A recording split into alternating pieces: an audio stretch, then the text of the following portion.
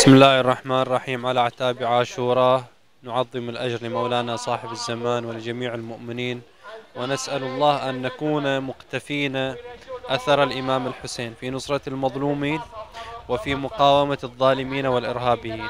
هذه الوقفة هي تعبر عن نصرتنا للمظلومين وتعبر عن عشقنا وتمنينا ومحاولاتنا وسعينا لأن نقتفي أثر الحسين.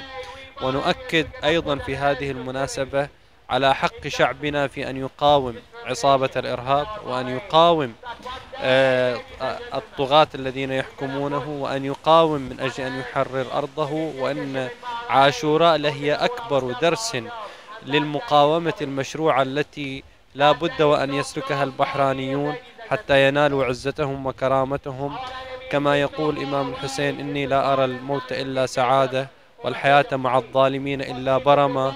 يرفض شعب البحرين أن يتعايش مع الظالمين.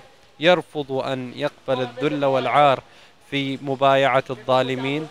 يسير على أثر الحسين وعلى أثر أصحاب الإمام الحسين في مقاومة هذا الطاغية.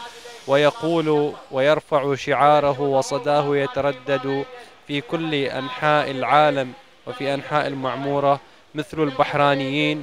لا يبايعون الخليفيين.